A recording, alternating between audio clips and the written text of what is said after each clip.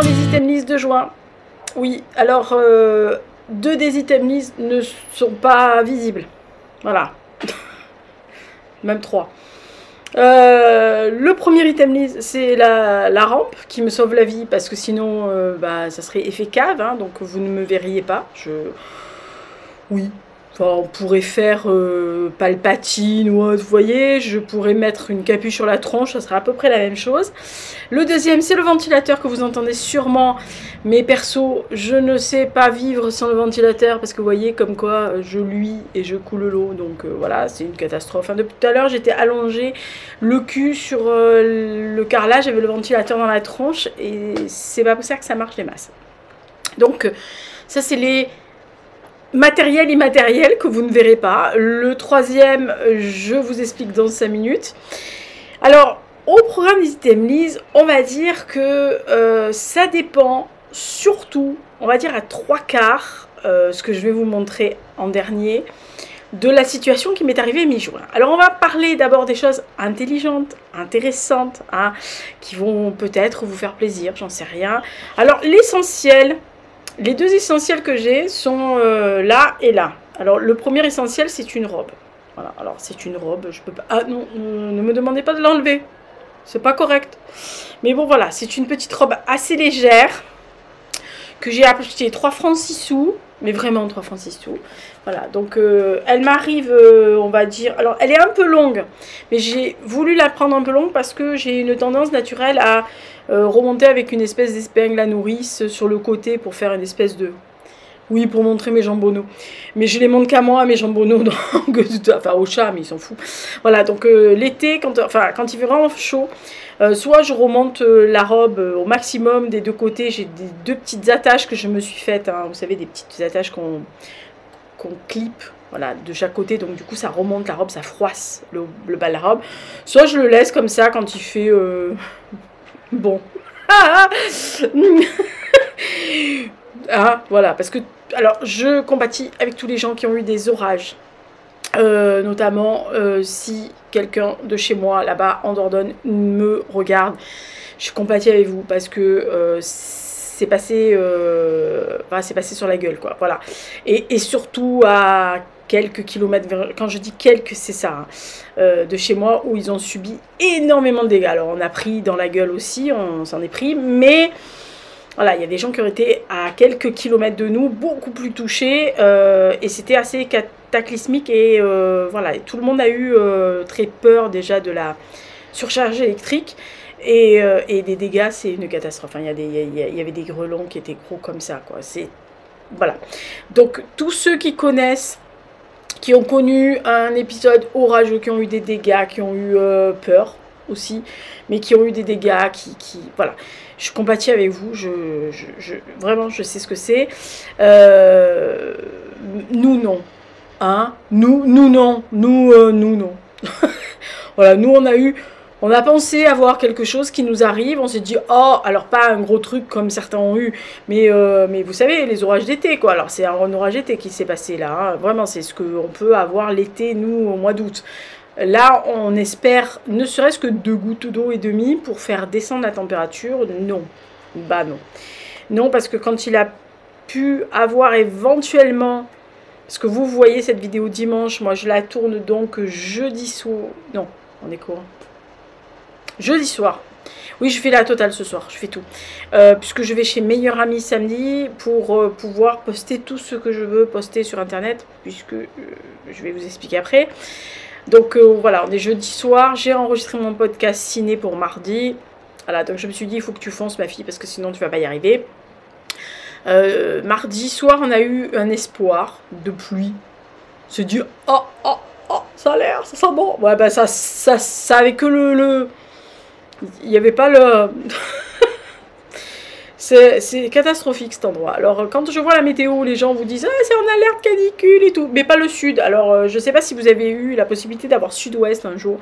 Euh, il y a eu un dessin qui nous a fait bien rire, qui m'a fait bien rire, ce qui était tout à fait vrai. C'est-à-dire que vous aviez toute la France qui se plaignait, j'ai acheté deux ventilateurs, il fait je suis en sueur, je vais crever, je vais mourir, machin.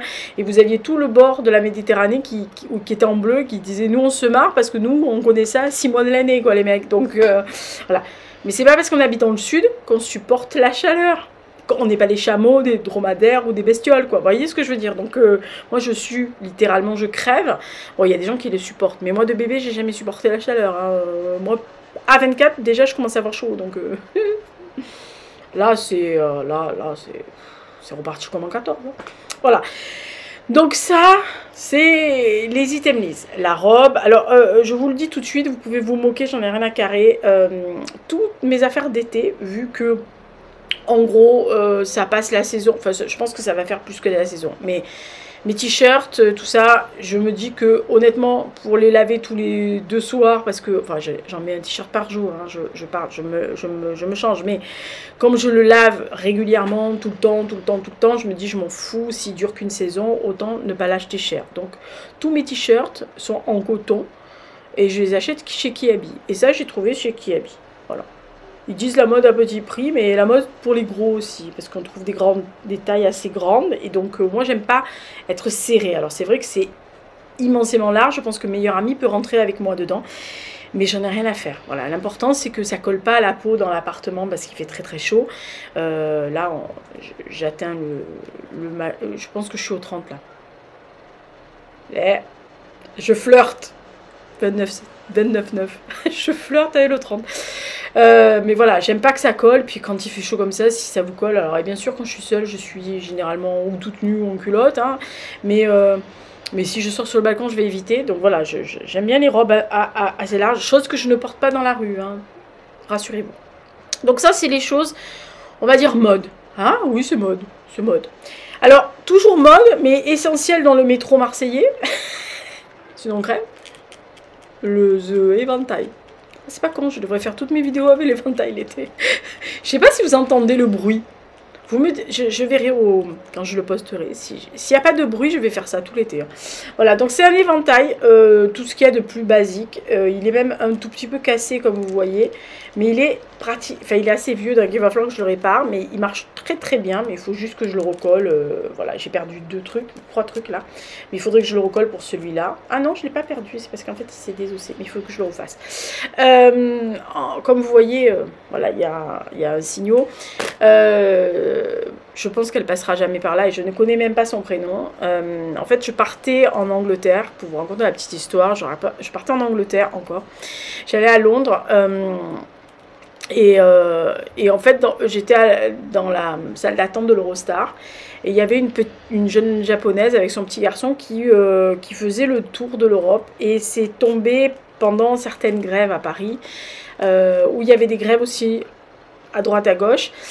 Et elle, elle- y avait elle parlait un anglais assez rudimentaire et dans la salle, euh, elle avait demandé deux trois fois, il y avait des gens qui répondaient pas. J'adore les gens qui parlent anglais mais qui ne répondent pas parce qu'ils prétextent qu'ils ne comprennent pas. Ben, il faut juste essayer de comprendre la personne en face.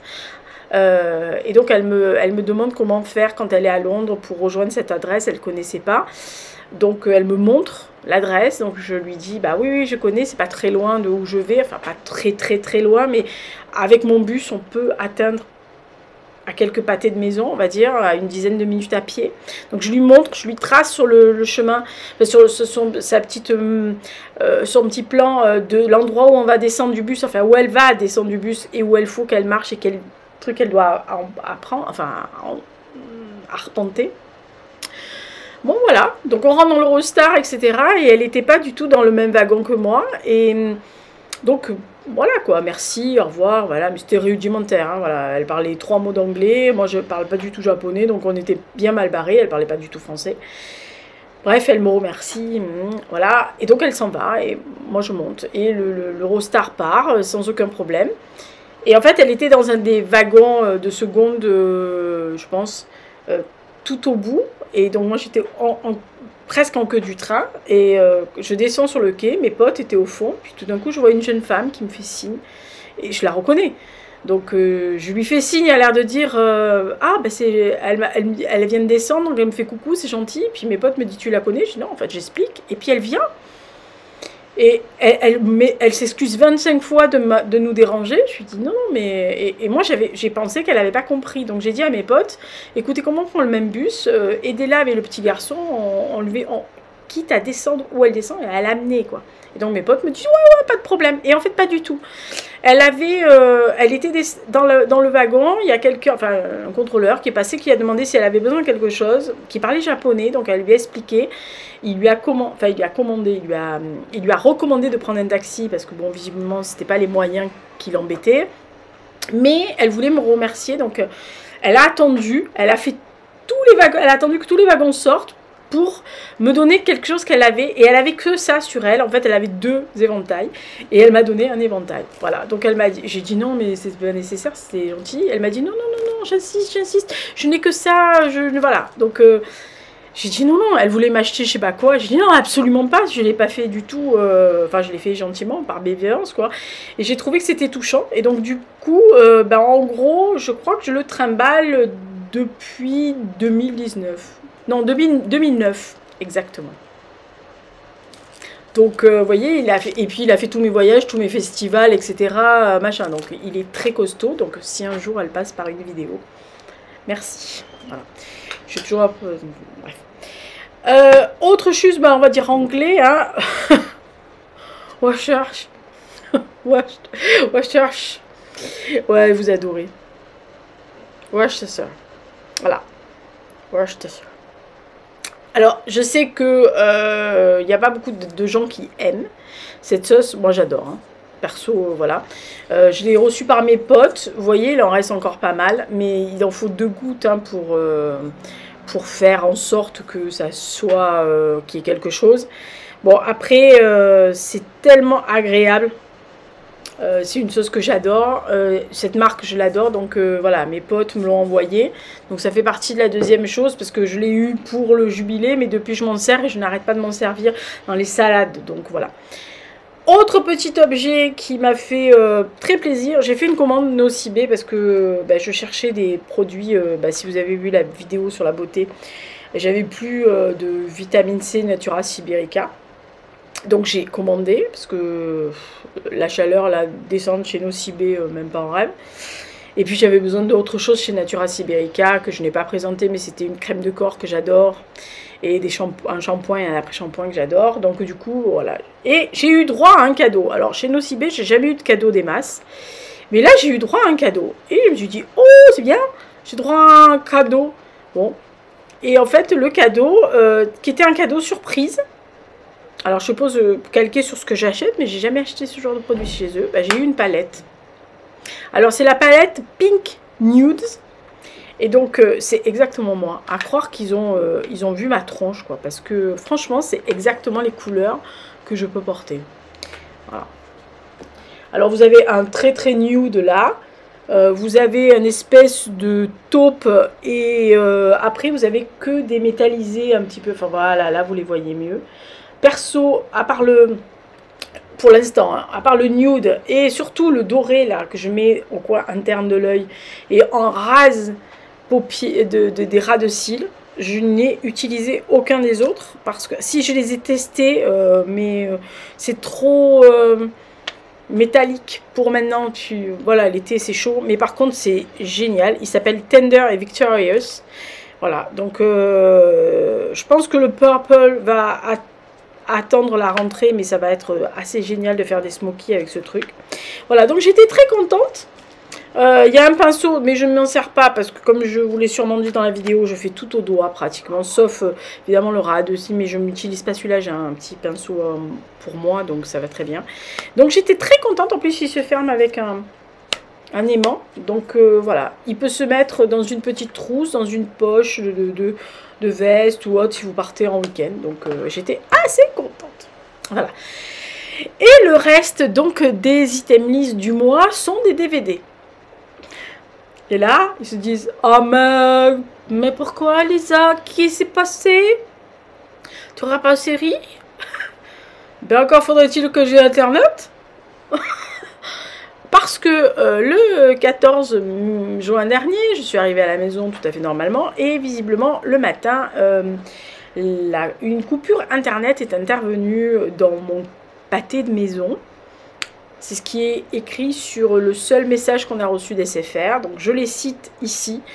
Et euh, merci pas du tout le, la, service client d'SFR parce que voilà, je vais vous expliquer en deux mots. Donc moi j'arrive, je vais à mes occupations, donc honnêtement j'ai pas regardé ma box, en plus ma box est derrière la télévision, donc du coup je ne regarde pas tous les voyants toutes les 5 minutes, je ne regarde que si j'ai un problème. Et ce soir-là, j'avais besoin de payer une facture en ligne, donc euh, j'ai ouvert mon, mon, coucou euh, et, et, donc je, lance le, je lance le, le, enfin le, le, navigateur. Et là, ah, dit, il, me dit pas d'accès possible à ce site. Mais j'ai pensé ce site-là, j'ai dit, oh merde, ils sont en train de faire une maintenance, c'est con. Oui, parce que vous pensez que c'est le site qui a un problème. Donc j'essaye un autre site en me disant, on va voir sur un autre site, parce que vous dites c'est peut-être le site qui a planté. Non, non, tous les sites étaient pas bons, enfin deux, trois. Je me dis merde. Puis je vois en haut, pas de Wi-Fi. Je fais oh merde. Alors je tape sur mon, mon petit icône Wi-Fi, là, vous savez, sur les PC, en me disant euh, ah peut-être qu'il a mal euh, quand, il s'est allumé il est peut-être il s'est mal monté il y avait une mise à jour il a mal compris donc je, je, fais off je fais on je me dis il va revenir puis il cherche il cherche il cherche pas de connexion donc qu'est-ce qu'elle fait Bibi? Elle va voir la bobox et elle voit la box, au lieu de six petits trucs euh, blancs qu'il doit avoir sur la box, il n'y en avait que trois. Donc, qu'est-ce que vous faites? Parce que vous êtes intelligent, vous aussi. Vous n'êtes pas comme, euh, comme certains services clients qui vous disent Vous avez pensé à faire défaire la box, à la relancer et à éteindre le, le, truc? Non, parce qu'on n'a pas pensé à défaire la prise, à attendre une minute ou deux et à remonter la prise. Non, parce que ça ne nous arrive pas au cerveau. Hein. Voilà, donc c'est ce que j'ai fait. Je me suis dit, c'est très souvent ça. Et c'est très souvent, et je dois avouer, je, suis honnête, euh, depuis que j'ai SFR, depuis plus de 10 ans, euh, les seules pannes que j'ai eues, c'était des pannes de mise à jour. C'est-à-dire, ils avaient fait une mise à jour, ça s'était mal monté, donc il avait fallu. Le pire, c'est de débrancher la prise, de laisser débrancher. Je sais pas si vous entendez les cris de la bestiole. Si vous entendez, c'est Miss Monde qui fait une crise de nerfs dans les escaliers. Ah, grandiose, hein. Des fois, elle le fait à 2h du matin aussi. Euh, donc, vous débranchez, vous rebranchez. En gros, en une minute ou deux, ça remonte, il n'y a pas de problème. Bon, quelquefois, il faut appeler le service client. Et jusqu'à présent, les rares fois où j'ai appelé le service client, même là, la première fois que je les ai eus, ils ont été charmants. Euh, ils vous font une, manœuvre euh, de rebootage, machin, et généralement, ça remarche. Donc, moi, j'appelle le service client en pensant que c'était ça. Le mec me dit non, non, on a été signalé depuis ce matin, il y a eu une panne dans votre secteur, dans votre coin, euh, qui impacte votre secteur, etc. Euh, donc ça va, le technicien a été dépêché sur place, c'est en cours de, traitement. Donc je lui dis, je pense que ce soir, euh, j'avais le live donc de l'Eventis, je lui dis, je pense que ce soir, ce que j'avais prévu, on peut dire niette. Donc il m'a dit, bah, essayez, mais ça m'étonnerait, tabler plutôt pour demain. Il me dit, on vous rappelle. Donc j'ai dit, euh, s'il vous plaît, rappelez-moi, etc. Machin. Donc il note de rappeler. Donc il y a un autre technicien qui me rappelle le, lendemain matin, euh, vers les 10h moins le quart, euh, pour me dire, voilà, la panne est en cours de traitement. Le technicien nous a dit qu'au pire, ça serait jeudi 21h.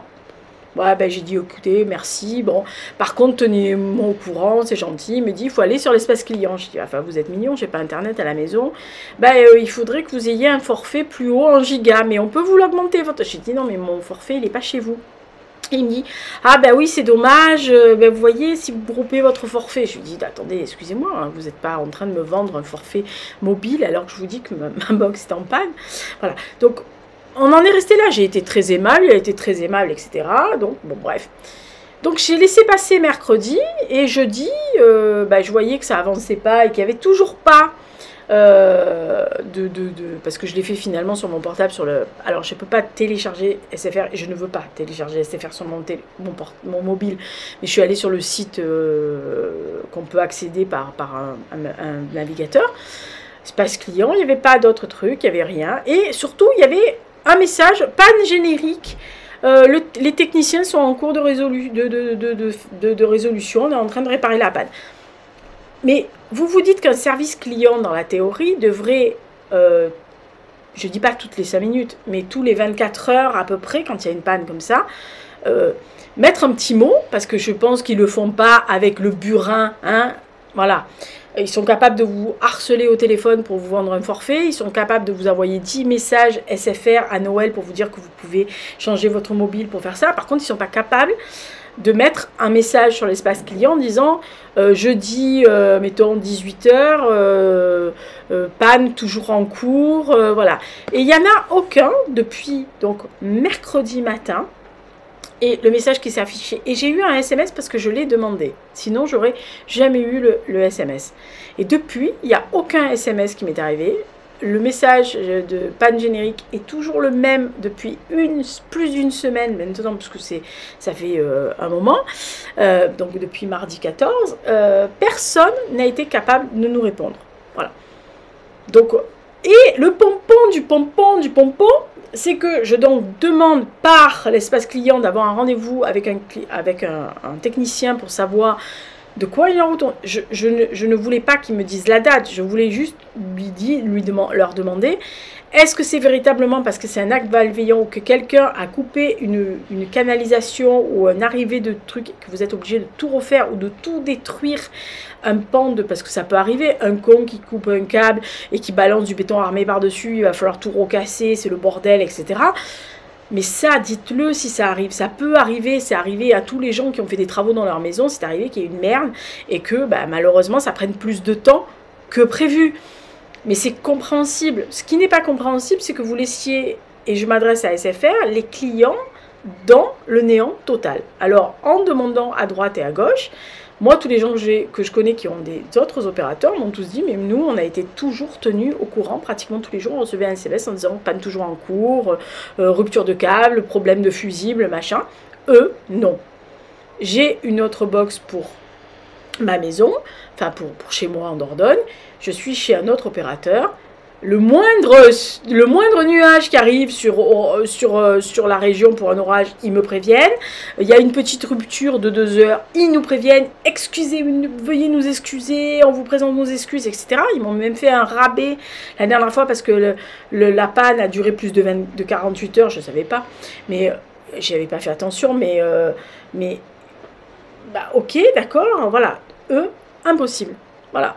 Alors, je leur ai envoyé une lettre en leur expliquant que c'était quand même à l'heure ultra moderne et qu'ils n'arrêtent pas de nous gonfler en nous demandant de prendre la fibre, plus de trucs, plus d'options. Ils ne sont pas capables de tenir, ne serait-ce qu'informer leurs clients de, de savoir si c'est à durée vraiment indéterminée. Parce que si vous mettez sur le truc, c'est une panne, une grosse panne et ça va durer un long moment où ça va être dans nos meilleurs délais et style, nos meilleurs délais, ça veut bien dire on ne sait pas, on ne sait pas, on ne sait pas. Voilà. Donc on comprendrait, mais ni mail, ni SMS, ni rien du tout. Et quand vous appelez le, le 1023, vous tapez donc le numéro de votre box office, hein, puisqu'il vous demande le numéro de la box dont vous dépendez. Vous avez un message préenregistré. Euh, incident déjà déclaré, euh, les techniciens sont au courant et sur le coup. Euh, veuillez excuser. nous, nous nous excusons. Alors il s'excuse tout seul. Hein. nous nous excusons de la, de la gêne occasionnée. merci de votre compréhension. Au revoir, bisous. Et il raccroche au nez. C'est-à-dire que si vous voulez avoir un technicien parce que votre box a claqué véritablement, qu'elle elle s'est arrêtée, qu'elle a grillé parce qu'elle ne marche plus, vous pouvez pas leur dire, bon, ben, pendant qu'il y a la panne, vous pouvez pas m'envoyer une nouvelle box, comme ça, quand elle revient, la, panne, qu'elle retourne, ben, je, je, mets la nouvelle. Ah ben non, vous pouvez joindre personne. C'est pas fabuleux ça Et après, vous, vous pensez que, que je, suis, je serai aimable les prochaines fois qu'ils m'appelleront et qu'ils voudront me fourguer quelque chose? Pas sûr, hein voilà. Et je suis pour parler avec moi-même pour changer d'opérateur, hein, je vous le dis. Parce que alors là, franchement, c'est le pompon du pompon. Ça fait quand même 10 ans, j'étais assez fidèle. Ils m'ont jamais fait une seule ristourne, un seul offre, etc. Et quand ils vous font une offre pour, les pour un nouveau forfait, pour vous réabonner, vous n'êtes jamais au forfait qu'ils offrent nouveau. Vous êtes toujours trop cher par rapport à ce qu'ils offrent au nouveau. Donc c'est c'est vraiment une grosse merde. Voilà, donc euh, franchement, euh, je sais faire sans, parce que j'ai fait pendant des années en, en Dordogne, dans une zone blanchâtre.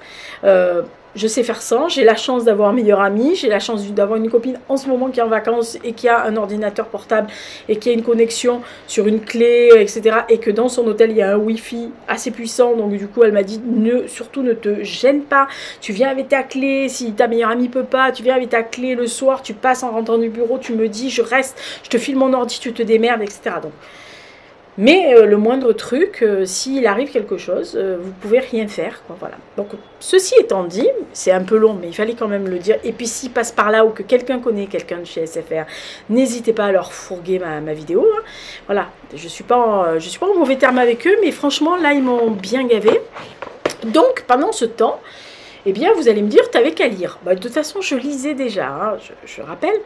Euh, mais euh, moi, le soir, quand je dîne, j'aime bien regarder. Euh, bah, c'est comme ça que vous voyez quand, enfin, vous écoutez mes podcasts, vous voyez quand je, regarde tous les films et toutes les séries que je fais. Voilà. Donc j'aime bien quand je dîne, quand je petit déjeune. Euh, généralement, petit déjeune, je fais une série. Euh, surtout le dimanche, je traîne ou le samedi, je traîne, donc je peux regarder un épisode. Mais j'aime bien quand je déjeune, euh, le week-end ou le soir quand je dîne. J'aime beaucoup avoir un, ou un film ou une série. Et après, je relis pendant deux heures derrière. Je lis avant, je lis après, mais au milieu, j'aime bien. Voilà. Bah là, euh, pas de box, donc pas de série, pas de tablette, pas de télévision. Alors, ils m'ont fait louper le Grand Prix de Formule 1 quand même, les gourés. Hein. Voilà, juste quand Lewis Hamilton est en troisième position et que George Russell est en quatrième. Vous voyez les glandes de Lisa Ah ouais, alors là, il manquerait plus qu'il y ait eu Liverpool à la télévision. Ah ben là, là, il finissait au fond du vieux-port. Hein. Voilà. Et donc, je me suis dit, il faut que tu, que tu, tu, cherches. Alors, euh, j'ai dit, bon, ben. Alors, je me suis fait prêter un vieux coucou, vraiment, qui a encore le. Vous savez, le. Attention, il sert plus qu'à ça, on m'a dit. Hein. Il sert qu'à être DVD. Alors que j'ai pas de DVD, mais il sert à être DVD. Donc euh, voilà, j'ai pris mon, j'ai pris le truc et j'ai fait tous mes DVD. Donc euh, depuis, euh, depuis, alors je vous ai pas sorti tout ce que j'ai revu, mais j'en ai revu deux, deux ou trois de plus. Ben, la prisonnière, ah bah tiens, il me manque la prisonnière du désert, Mansfield Park. Voilà. Alors le premier que j'ai revu parce que ça m'a bien détendu. Voilà, premier que j'ai revu, c'est Persuasion. Donc, c'est les adaptations de la BBC. Pareil, j'ai revu Mansfield Park. C'est pas mon préféré du tout, mais je l'ai attrapé. Lui, c'est mon roman préféré de Jane Austen et c'est ma adaptation préférée donc, euh, de Jane Austen. J'ai revu un très joli film d'amour russe. Euh, oui, je sais. Je... Enfin, commencez par aller. Euh, donc, ça s'appelle L'Amiral. Alors, c'est une histoire euh, d'avenir, effectivement, comme c'est écrit, c'est vraiment une fraise historique, euh, un peu dans le style guerre épée, mais en moins, euh, voilà, en moins volumineux. voilà, bon, il y a une très belle histoire d'amour au milieu, on queen bien, c'est parfait. Ah bah, il fallait que je queen à ce niveau-là. Euh, ensuite, j'ai regardé, j'ai continué les, les queenages. Voilà, j'ai continué les queenages, donc je me suis sorti un film qui fait toujours du bien. Ah, j'ai oublié. Euh... Ah non, je l'ai mis. Euh, un film qui fait toujours du bien, c'est Pénélope euh, avec Christina Ricci. Honnêtement, voilà, c'est ça prêche la tolérance, la différence de l'autre, etc. Il y a une jolie petite histoire d'amour bleuette. Je vous dis, j'avais besoin de ce genre de truc, histoire de. Alors moi, voilà, j'ai quand même ces DVD, donc vous pouvez pas dire que je n'aime pas les films romantiques. J'aime bien les films un peu J'aime pas les films cucu, mais j'aime bien les films voilà, qui finissent bien, mais qui sont pas niais. Vous voyez, c'est pas les, romances de Noël de l'après-midi. C'est des trucs où il y a quand même un minimum de oh merde, ça va mal se terminer. Voilà. Non, celui-là il se termine mal. On va le faire en dernier. On va faire les trucs qui se terminent mal en dernier, sinon ça va vous stresser. Euh, je me suis... Ah oui, alors là c'est immuable parce que quand vous avez envie d'avoir un sourire, vous mettez euh, le duo Paul Bettany, Kristen Dunst et tout va bien. Oh punaise, là, là. Voilà, donc ça s'appelle Wimbledon. Alors en français, c'est la plus, la plus belle victoire. C'est un titre complètement con qui ne va absolument pas du tout. Enfin, si, mais Wimbledon va beaucoup mieux au film. Bon, là, c'est une, histoire d'amour. On sait très bien qu'ils vont finir ensemble à la fin. On n'est pas débile, là. Voilà. Mais c'est tellement, c'est tellement léger qu'on va dire que c'est léger. Et puis euh, admirer Paul Bettany sous toutes les coutures, c'est toujours euh, un plus.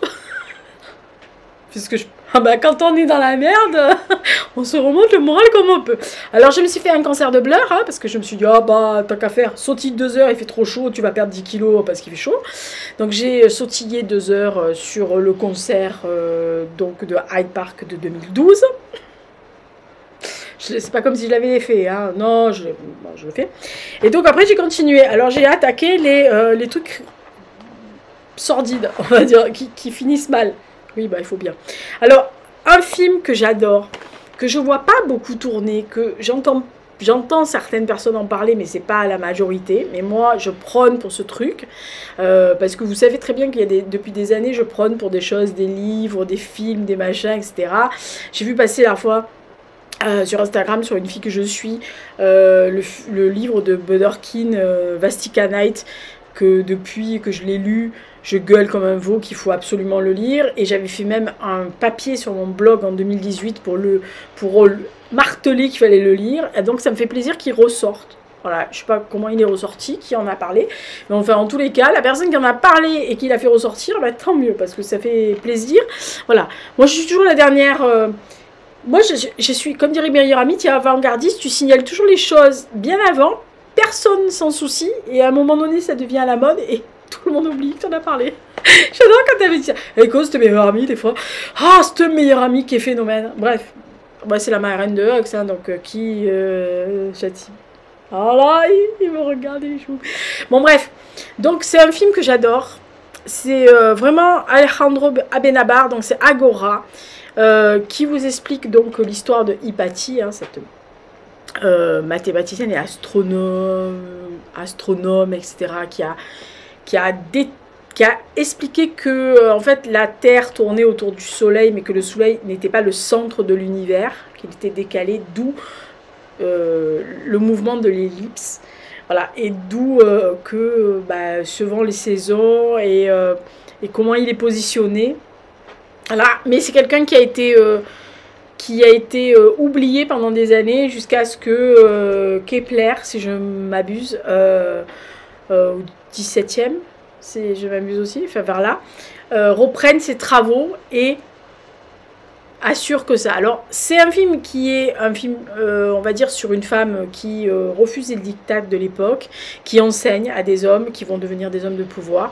Mais c'est aussi la dangerosité de, la radicalisation, quelle que soit la religion. Là, c'est les chrétiens qui foutent le bordel, qui a dit comme d'habitude euh, Parce que, en fait, euh, dans Alexandrie, l'Alexandrie le phare hein, et la bibliothèque, euh, le mouvement chrétien est en train de monter. alors que, bon, la plupart des gens de l'époque étaient ou des païens ou des juifs. Et donc là, ils montent et ils deviennent radicaux, ils, ils viennent imposer quelque chose et ils ne supportent pas déjà qu'une femme euh, prêche et enseigne à d'autres hommes, ils ne supportent pas quand les contredise, etc. Donc ils vont foutre un bordel monstre. Euh, et euh, cette jeune femme avait un esclave qui va tourner pour une raison, on va dire, de, de blessure intime euh, qui va se tourner vers ces gens-là, mais qui va revenir vers elle trop tard, mais qui va revenir. Voilà. Mais c'est un très très beau film. Alors déjà sur la lutte des pouvoirs, sur la positionnement de la femme, etc. Qui à l'époque euh, pouvait faire ce qu'elle voulait, visiblement pas se marier, etc. Et exposer. Euh, vous verrez ce qu'elle expose à tous les hommes sans que personne ne s'offusque et qui tiennent tête et qui conseille des hommes, mais qui, bah voilà, bah, nos amis sont revenus. Hein. Voilà. Alors, autre film qui finit mal, mais euh, tant qu'on y, euh, y va, moi je l'adore ce film. Alors, euh, je sais pas comment il s'appelle. Ah oui. Merde. Laura, elle va m'assassiner. Elle me l'a dit, hein, je, je, le retiens jamais. Bon, je suis une dingue, laisse tomber. Laura, tu peux me taper. si tu passes par là, c'est The Finest alors, c'est un film qui se passe euh, pendant la, première, Seconde Guerre mondiale. C'est une équipe de cinéma qui est en train de tourner un film, qui a, qui a une commande d'un film pour un peu remonter le moral des troupes. Et des troupes et insister aussi euh, et influencer aussi les Américains à venir combattre euh, en Europe pour venir. Voilà, donc il, va avoir plusieurs personnes qui vont monter le scénario. Alors il y a des acteurs, il, y a il, tout, hein, le casting, machin, on tourne, on, prend un soldat américain décoré pour pouvoir ah, bah, faire la tête de pont. ils prennent un vieil acteur, d'ailleurs c'est Bill. Ah, j'adore ce mec.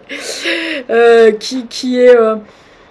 qui, est là, une vieille star euh, déclinante, mais qui croit toujours que c'est un beau mec. Et il y a cette équipe de scénaristes euh, dont ils vont em- embaucher cette jeune femme qui est jouée par euh, Gemma Atherton.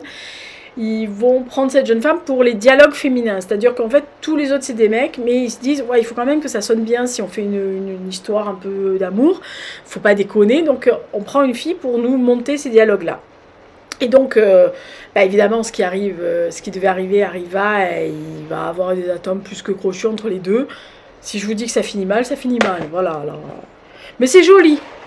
Mais ça finit mal. C'est joli. Ça finit mal. Enfin, ça finit. Ça dépend ce que vous entendez finir mal. Moi, je trouve que ça, bon, ça finit pas bien des masses, mais je trouve que la fin est jolie.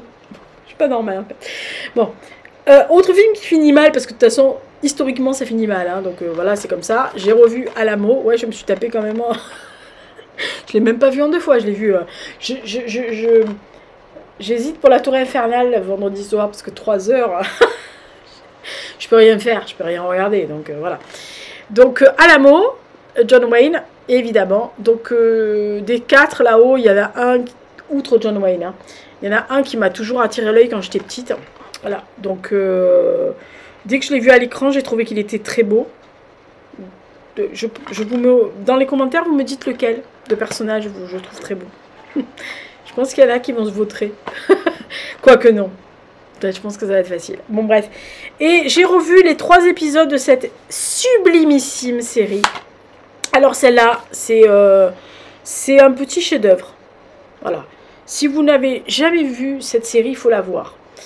Euh, elle mêle Seconde Guerre mondiale et du, de 1941, puisque ça commence à la veille de l'opération Barbarossa, pratiquement, jusqu'en euh, bah, après, euh, en 45.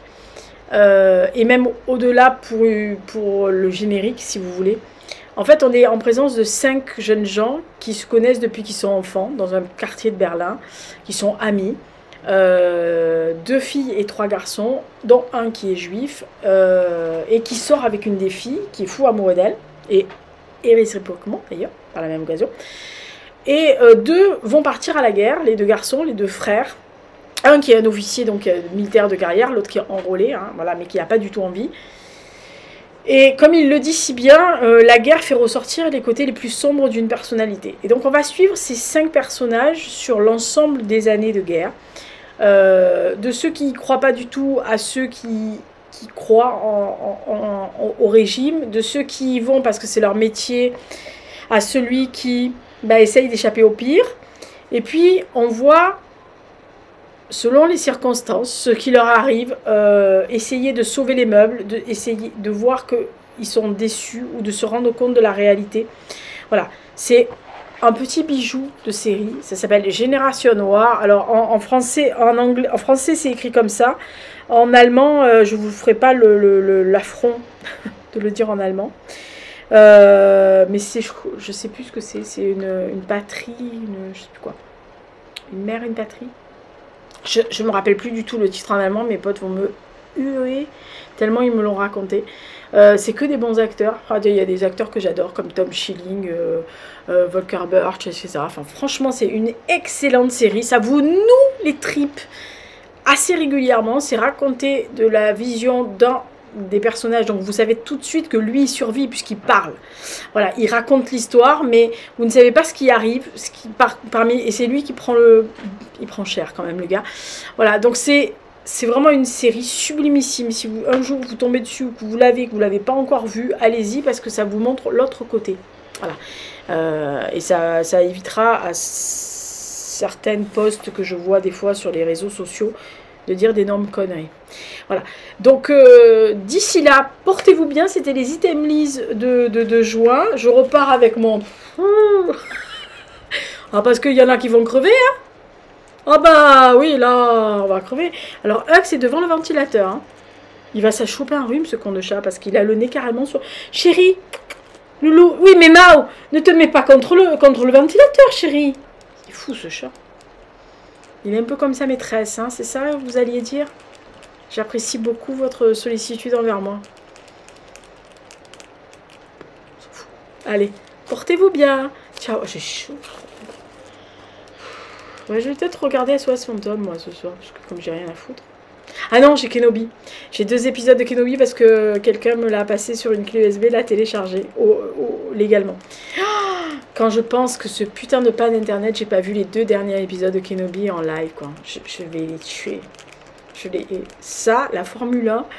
Ah non, là, c'est plus possible, hein. C'est plus possible.